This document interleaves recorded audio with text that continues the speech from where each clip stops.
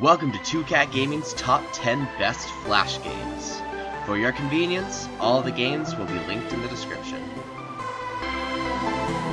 At number 10 is the Grow series. The Grow series is a group of puzzle games where you're presented with a bunch of buttons or objects. The objective is to press or place everything in the correct order or area to achieve the best possible ending. If you love puzzles, I strongly recommend this game.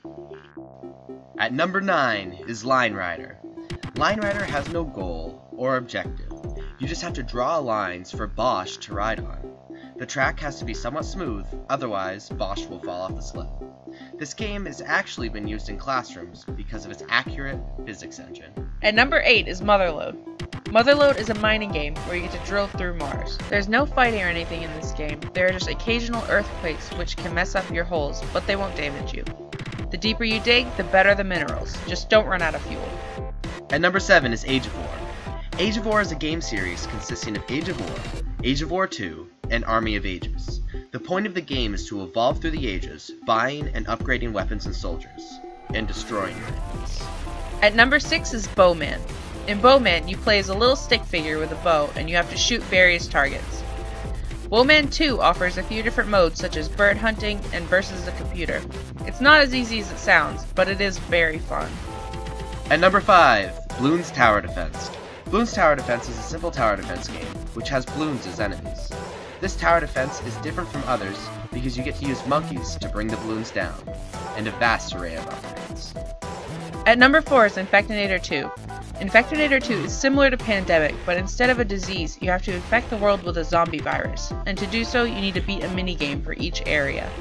If zombies are your thing, check this game out. Coming in at number 3 Swords and Sandals 2. Swords and Sandals 2 is an RPG flash game where you play as a gladiator in the Roman Colosseum. You advance by fighting in the arena and using the prize money to buy better armor and weapons. At number 2, we have Agar.io. Agar.io is a massive multiplayer online game where you control a cell. The objective is to eat randomly generated pellets to grow your cells so you can eventually absorb other players and become the biggest cell. You must also avoid viruses because they can split your cell into many pieces, leaving you to absorb them before anyone else does. At number 1 on our list of top 10 best Flash games is Pandemic 2. In Pandemic 2, you play as a virus, bacteria, or parasite, and it's your goal to kill off the entire world population. Throughout the game, you must evolve your disease to avoid detection and a cure. Hey, hope you enjoyed 2Cat Gaming's Top 10 Flash Games. Check us out on Facebook, Twitter, Twitch. All the links are down below. See you later.